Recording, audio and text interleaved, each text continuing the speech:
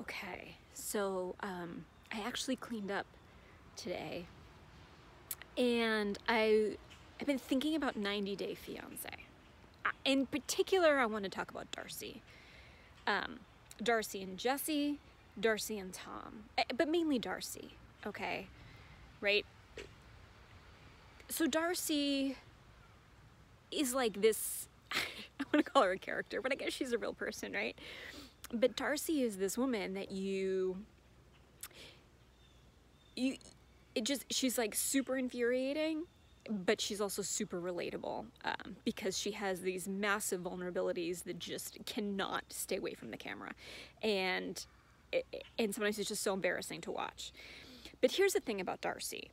In her relationship with jesse and her relationship with tom she was single-minded about the thing she wanted which was the engagement, right? She wanted to seal the deal, have the ring, like have the fiance. Like that was the goal, that was the purpose, that was the thing that she wanted. And she wanted it so much, she held on to it so tightly that it pushed away the people who were actually attached to this expectation. And I'm not saying that those people were the right people for her, but she was thinking so much less about the person than she was about the thing that she wanted okay like and i see this all the time um, that we have this idea of what we want right we want uh, I, have a friend actually this is a perfect um, but this person I know who just has this idea of what he thinks like love is supposed to look like and this idea of what he wants his future to be.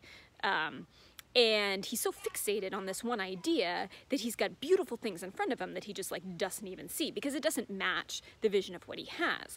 But the problem or the vision of what he wants so the problem is this thing that he wants he pushes away because he's holding on to it too tight and he's not living his life every day in ways that match the vibration of the thing that he wants. You know, and this is a this is the Darcey thing, right? She wants the engagement, she wants the relationship, she wants the blah blah blah blah blah blah blah blah blah, but she's not doing the things that would put her in the place to attract the things to her.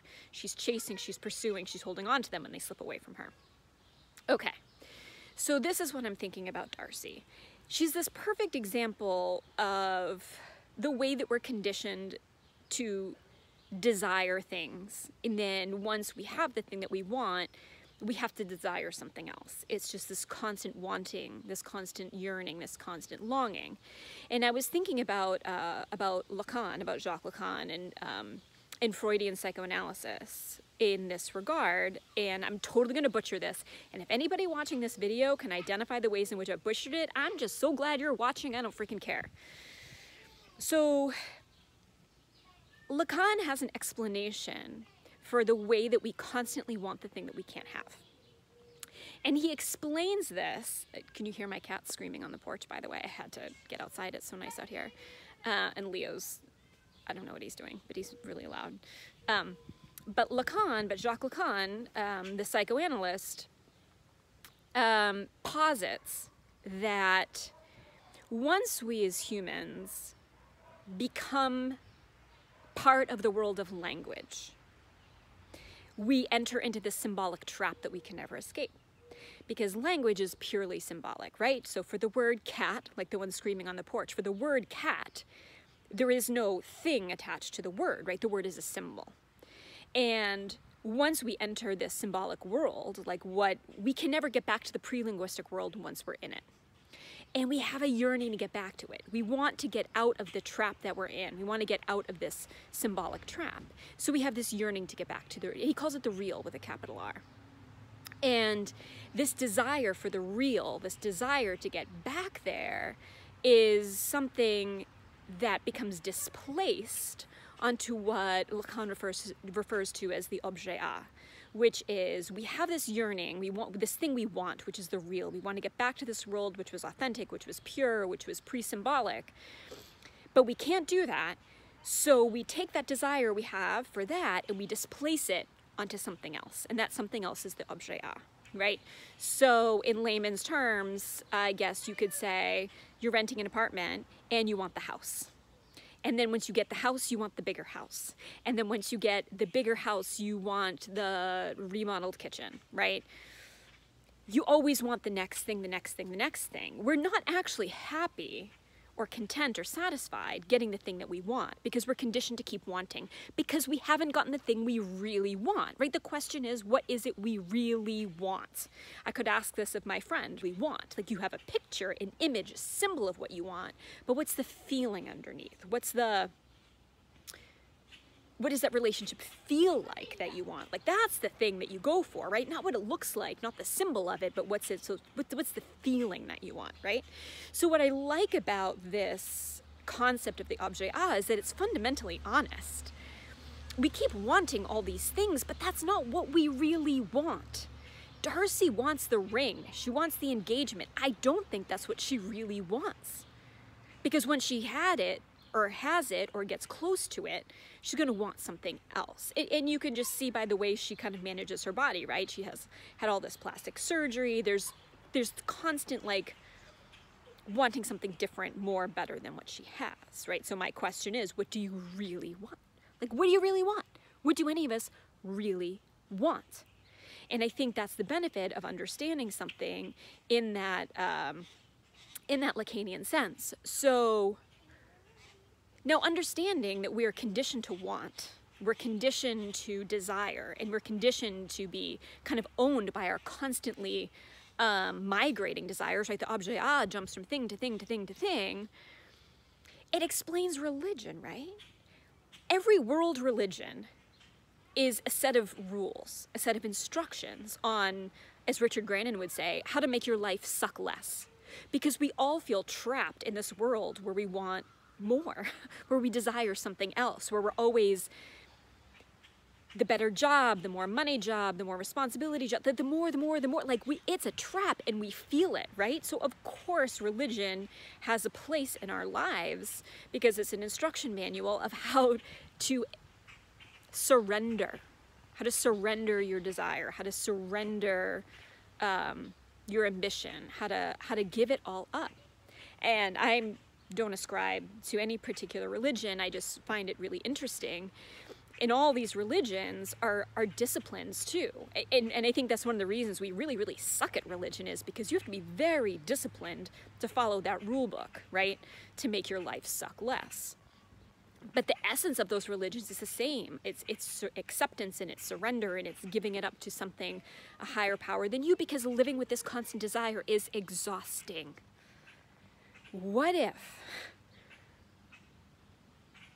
you and maybe this is the essence of mindfulness, right? Like maybe the reason why we're so drawn to mindfulness as a practice and the reason it's so difficult is mindfulness forces us to just be here, be now, look at what we have right now. That person playing Scrabble with you, right? You're cleaning out the refrigerator, you're making dinner, you're in this moment. And how to be in that moment so fully that you're not yearning for the thing that's not there. Because desire is always about absence. It's always about what's not there. And that is tragic. That is that is a really hard thing to live with every day, looking at the absence. When in truth, Don't we all have everything we need? Like, really?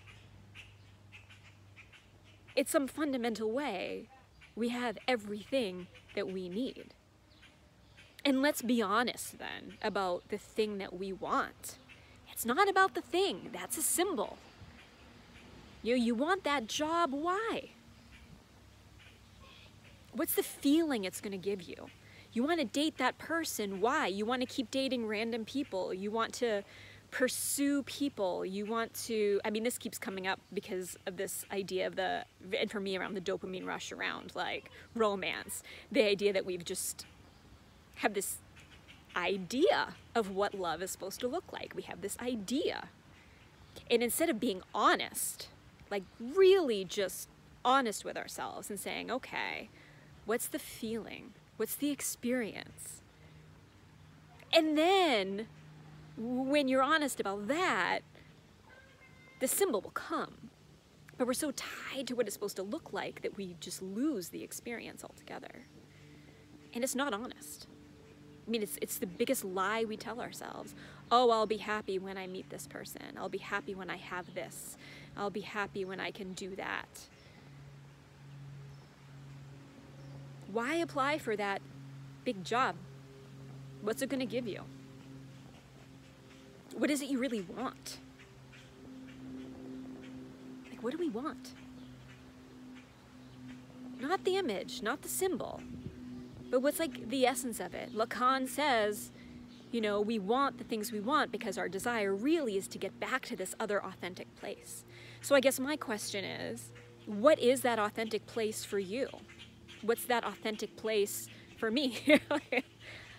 I got it. I write about it in my journal. I'm working on it. I don't have any answers, but it's a discipline. I'm figuring it out.